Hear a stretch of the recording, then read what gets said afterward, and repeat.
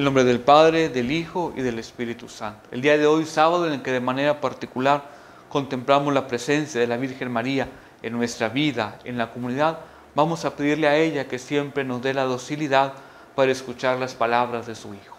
Del Santo Evangelio según San Juan. Al atardecer del día de la multiplicación de los panes, los discípulos de Jesús bajaron al lago, se embarcaron y empezaron a atravesar hacia Cafarnaúm. Ya había caído la noche y Jesús no los había alcanzado. Soplaba un viento fuerte y las aguas del lago se iban encrespando.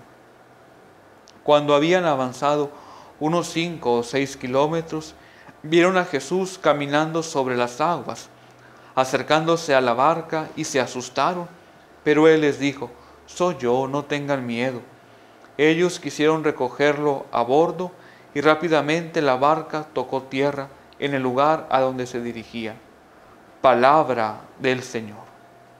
Una escena quizá marcada por la violencia de la naturaleza y por el temor es la que hoy nos presenta San Juan. La travesía por el lago, los discípulos van sin la presencia de Jesús y parece que al desatarse los vientos fuertes o la tempestad encrespada, en fin, aquellos hombres comienzan a llenarse de temor, sobre todo por la ausencia del Señor Jesús. Y entre aquello que es turbulento, que es incierto, viene la actuación de Jesús. Es Él quien se acerca a ellos y dice, a ver, no tengan miedo, soy yo, aquí estoy. ¿Dónde está el temor? ¿Dónde está el terror? Mi presencia va a disipar todo aquello. La misma travesía del lago puede ser en ocasiones nuestra vida ante aquellas dificultades que vamos enfrentando y que nos llenan de temor, nos llenan de angustia y sobre todo cuando parece que la presencia de Dios se nos esconde, que todos los hemos enfrentado en algún momento, la muerte de algún familiar, la enfermedad de otro, un mismo problema que parece que nos está llenando la vida totalmente de angustia. Y es ahí donde estamos llamados a descubrir la presencia amorosa del Señor Jesús. Tengamos muy claro el dato del Evangelio, es Jesús quien se acerca a los discípulos.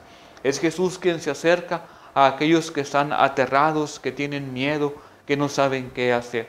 Y es la misma actuación del Señor Jesús. Siempre será quien se acerque a nosotros. Cuando estamos aterrados, cuando estamos llenos de temor, descubramos cómo Jesús viene a nuestra vida.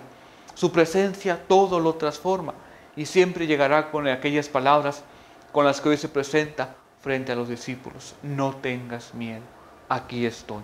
Solamente dispongámonos para escuchar siempre estas palabras del Señor. La bendición de Dios Todopoderoso, Padre, Hijo, Espíritu Santo, desciendo sobre ustedes permanezca para siempre.